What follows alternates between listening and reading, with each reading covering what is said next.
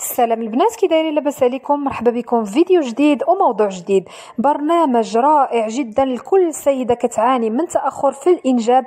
أكيد أن هذا البرنامج غادي ينال الإعجاب ديالكم فما كرهتش منكم أنكم توصلوه ليا لأكثر عدد من اللايكات باش تعم الفائدة لأنه فعلا برنامج مجرب مني شخصيا ونال الإعجاب ديالي. فحاولت أنني نقدم لكم هذا البرنامج هذا لربما تنتم يحصل عندكم الحمل بسرعة وفي وقت قياسي بطبيعة الحال. الحال إلا تبعتيوه بالحرف.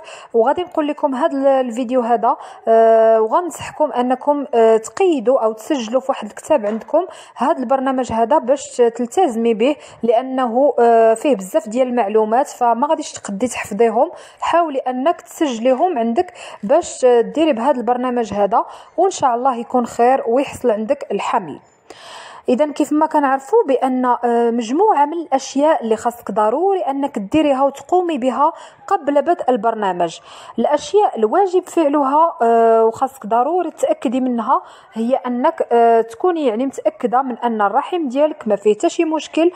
حاولي أنك تعرفي بأن الدورة الشهرية ديالك تنتظم عندك مزيان. إلا كانت غير منتظمة حاولي أنك تزوري الطبيب ديالك لأنه غادي يقوم بالفحص المناسب وغادي يعطيك مجموعة من التحاليل باش يكتشف شنو هو سبب آه، الخلل في الهرمونات وبالتالي غادي يعالج لك المشكل ويعطيك الدواء اللي غادي ينظم لك الدورة الشهرية. لأن هذا الأمر هذا مهم بزاف وهذا البرنامج غادي ينجح مع السيدات اللي عندهم دورات شهرية منتظمة وكذلك السيدات اللي ما كيعانيو حتى شي من مشكل يعني في المبيضين ديالهم في آه، كذلك ما كيعانيوش من مشكل في الرحم من التصاقات أو انسداد في الأنابيب. هاد السيدات غادي قد ينجح معهم هذا البرنامج بإذن الله. كيف ما كنعرفوا بأن آه، الأشياء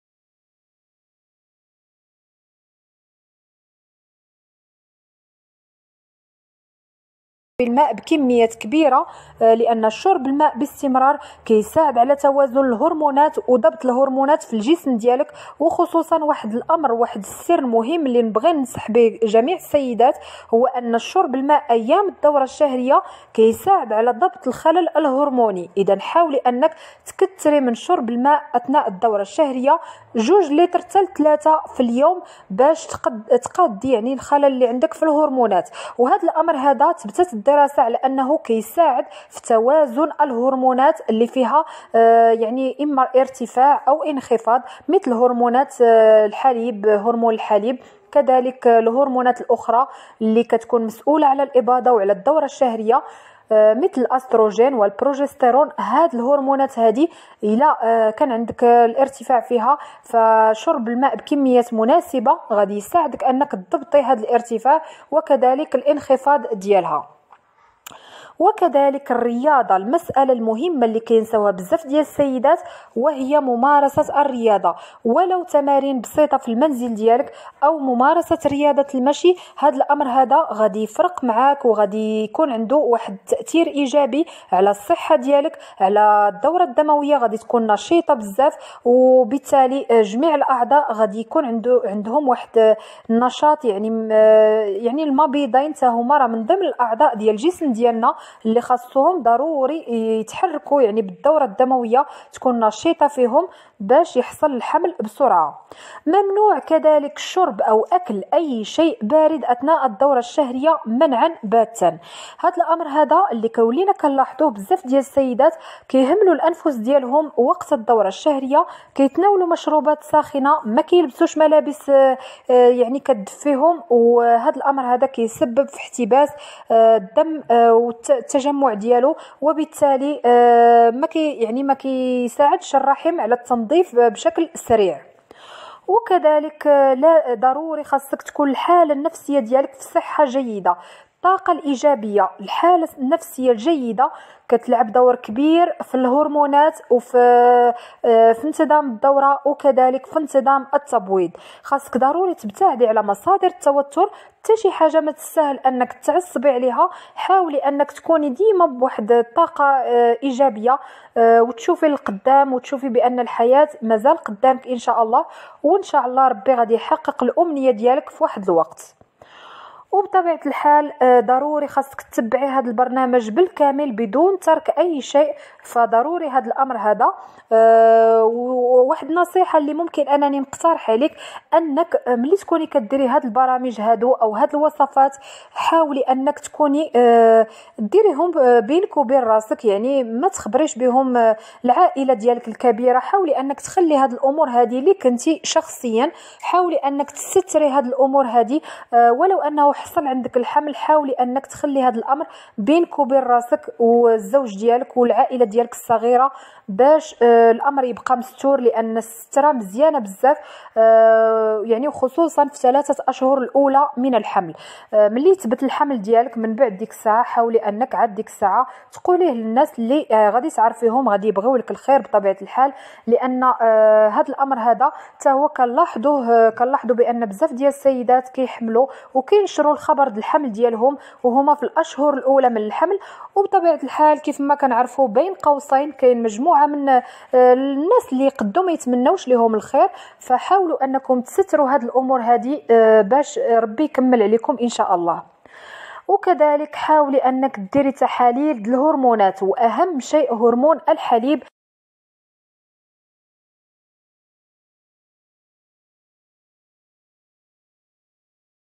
الحليب إلا كان يعني هرمون الحليب طالع في الجسم ديال في الدم ديالك فهو كيسبب تأخر في الإنجاب. ما كيمنعش الحمل بصفة كلية ولكن ممكن أنه ياخره عند بعض السيدات. ندوزو دابا بلا ما نطول عليكم البرنامج الرائع اللي هو مجرب من عند مجموعة من السيدات وبطبيعة الحال أن آه هاد البرامج هادو كيجربوهم السيدات وكيعطيوهم نتائج إيجابية. فعلاش لا مثلا نتوما تجربوا هذا البرنامج ويكون عندكم الحمل آه في وقت قصير بإذن الله. اولا فترة الدورة آه يعني كتكون كيف ما كنعرفوا من أربعة إلى سبعة أيام أو ثمانية أيام حسب كل سيدة. من اليوم الأول بداي بعمل آه هذا البرنامج هذا. يعني آه خاصكم تسجلوا هذا الشيء في دفتر أو حيث ما غاديش تقدروا تعقلوا على جميع المعلومات فحاولوا أنكم تسجلوها من الأفضل. اولا شرب الأناناس من أول يوم في الدورة إلى اليوم 13 فقط. هذا الأمر هذا كينشط لكم البويضات. ثانيا شرب عصير العنب وعصير التفاح إلى يوم 25 من الدورة. يعني ملي كتخلص آه ملي كتسالي أو كتنتهي من فترة التبويض هذا الأمر هذا كيكبر لك البويضات وكينشطهم وكيخرجوا عدة بويضات في نفس الشهر وممكن يكون الحمل بتوأم. ثالثا شرب مغلى حبة البركة آه والكمون والحلبة. غادي تخلطي الحلبة مع الكمون مع حبة البركة وتناولي هذا المشروب هذا أو هذا المغلى يوميا من ثاني يوم للدورة. أه لحتى اليوم اللي غادي تطهري فيه من الدورة أه للحمل بسرعة بطبيعة الحال.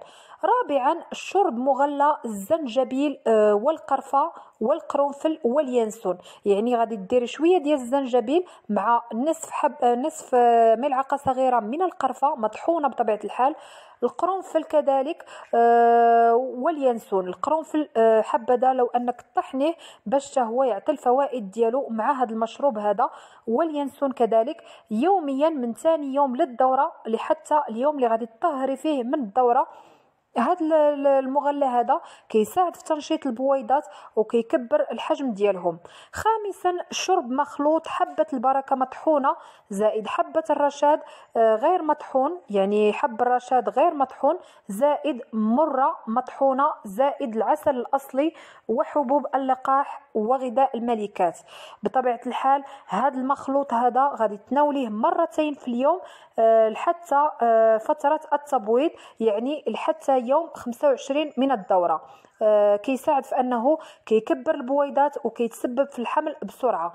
يعني ممكن أنك تناولي هاد العناصر هذه لفترة التبويض يعني يعني واخا تسالي منك فترة التبويض غادي تبقاي تناولي هاد الخلطة هادي آه لليوم 25 من الدورة. كيساعد على أنه كيكبر كيف ما قلنا البويضات. وحاولي أنك ملي تطحني هاد المكونات آه تضيفيهم للحليب الساخن. آه شربي هاد المشروب هذا هو كيساعد في تقوية البويضات. سادسا مطحون السمسم. يعني كطحني السمسم الأبيض وكتحطيه آه كتضيفي ليه الحبة السوداء وكتشربي عليه حليب ساخن على الريق من ثاني يوم للدورة لحتى 25 يوم يعني كتستمر عليه آه بعد فترة التبويض كينشط وكيكبر آه البويضات. سابعا شرب مغلى البردقوش يوميا بدون انقطاع كأس واحد متوسط آه، كيساعد على ضبط الخلل الهرموني. وثامنا شرب مغلى الميرامية من بعد انتهاء الدورة لحتى اليوم 13 من بداية الدورة.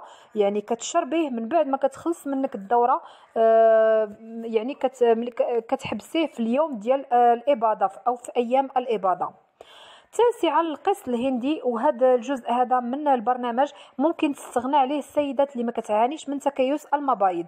يعني القسط الهندي مكبر ومنشط للبويضات.